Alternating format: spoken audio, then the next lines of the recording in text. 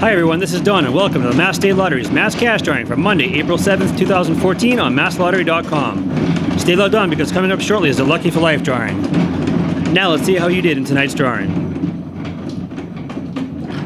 First number, 34. And now, 35. Followed by 10. If you match these three numbers, you've already won a prize. There's 26. And finally, 33. Once again, the winning mass cash numbers from Monday, April 7th are 10, 26, 33, 34, 35. Remember to log on to masslottery.com, Facebook, and Twitter to watch all the Mass State Lottery's drawings. Good night.